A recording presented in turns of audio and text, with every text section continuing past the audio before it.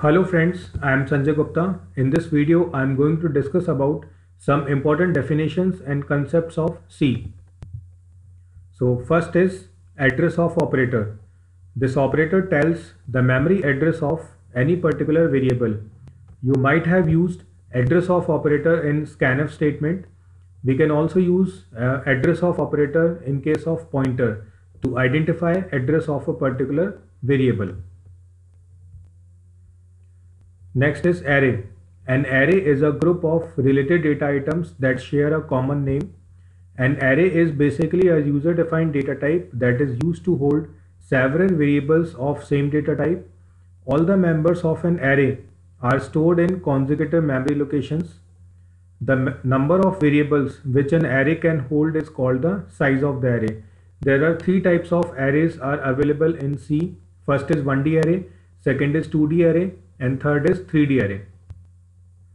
Next is associativity. The operator of the same precedence are evaluated either from left to right or right to left depending on the level. This is known as the associativity property of an operator. This associativity is directly connected with uh, precedence. Binary files. Contains are stored as 1 and 0 in case of binary file it occupies very less, less space as compared to text file. It is very difficult to view and modify binary files as compared to the text file. Uh, we can use these kind of files uh, while we are using the concept of file handling in C. Binary operator. Binary operators are those which use two operate operands in an expression. For example, plus, minus, multiply, etc. Break. It is a keyword. We often come across the situation where we want to jump out of a loop instantly without waiting to get back to the condition test. The keyword break allows us to do so. So we can use break in uh, loops as well as in switch statement.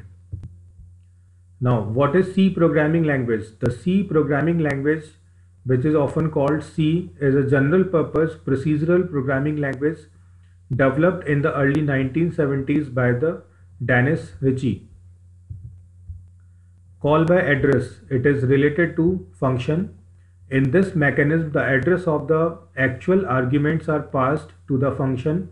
Therefore, if any change occurs in the values of formal arguments, that change also gets reflected in the actual arguments. Call by address is accomplished using pointers. Next is call by value. It is also related to function. In this mechanism, the parameters are passed directly. That is, we pass the values of the variable to the called function. If we change the values of the formal arguments, no change occurs in the actual arguments. This is because the copies of the actual arguments are passed to the formal arguments and actual and formal both occupies separate memory locations. Case sensitive Case sensitive is a term in which lowercase and uppercase characters are treated differently. So C is case sensitive. Uh, uh, then uh, you can say HTML is case insensitive language. Conditional operator. The conditional operator question mark and colon are sometimes called ternary operators since they take three arguments this operator works similar to the conditional statement that, that is if else. But remember that if else are keywords not operator. Constant. A constant is a quantity that doesn't change during execution of the program. This quantity can be stored at a location in the memory of the computer. There are four types of constants available in C. Integer constant, real constant, character constants and string constants. Continue. It is a keyword. In some conditions, we, we want to take the control to the beginning of the loop by passing the statements inside the loop which have not yet been executed. The keyword continue allows us to do so.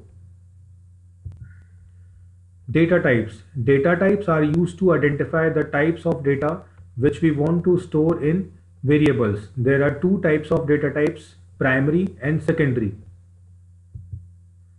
these are my information. You can uh, follow these information uh, to learn about various programming languages. In this information uh, this uh, TechImage is important because it is an Android app. You can download this app on your mobile phones so that you can understand the various uh, uh, technologies like C, C++, Java, etc. You can also follow my YouTube channel and in this YouTube channel various uh, programming related uh, videos are available. Thank you for watching this video.